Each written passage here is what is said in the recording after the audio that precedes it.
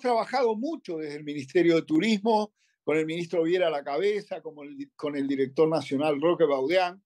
para suplir lo que va a pasar de aquí en más, esa carencia que podamos tener o esa baja de turistas que podamos tener. Hemos promocionado mucho en el sur de Brasil. Eso marca hoy que uno de cada tres turistas argentinos que ingresa,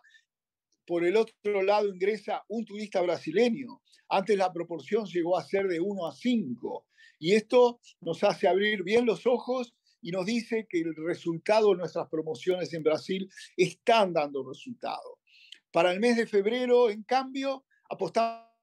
mucho al turismo chileno, que es cuando se toma sus ferias, su feria judicial, sus vacaciones, y donde tenemos una oferta adicional que se suma a la TAM, por ejemplo, línea aérea tradicional, si las hay, con una low cost que se llama Jet Smart, que empezó a volar este año a costos muy accesibles y con aviones totalmente nuevos. Así que eh, todo se ha ido planificando, todo se ha ido trabajando. Punta del Este abrió este año emprendimientos de altísimo nivel como la Torre Trump, que amagaba ser un esqueleto de aquellos que tristemente veíamos muchas veces que nunca se terminaban. Inauguró las residencias de Fendi Chateau, dirigidas a un, público de altísimo poder adquisitivo, apartamentos que en su mayoría superan el costo de un millón de dólares, largamente superan ese costo.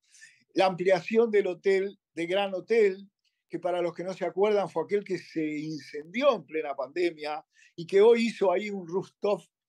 excepcional y además inauguró un centro de convenciones